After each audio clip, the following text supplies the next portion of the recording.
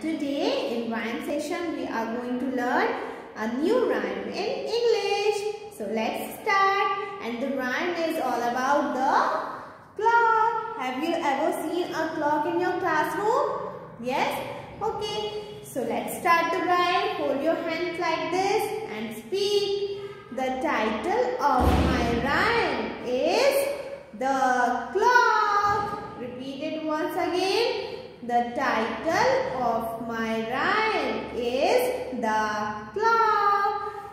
There is a neat little clock in the schoolroom it stands and it points to the time with its two little hands.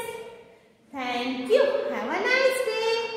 Repeat it once again. The title of my rhyme is The Clock.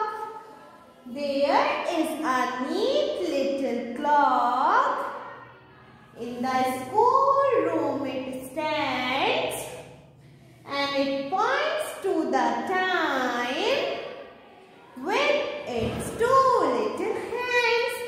Thank you. Have a nice day. So children, you have to learn this rhyme at your home. Bye-bye.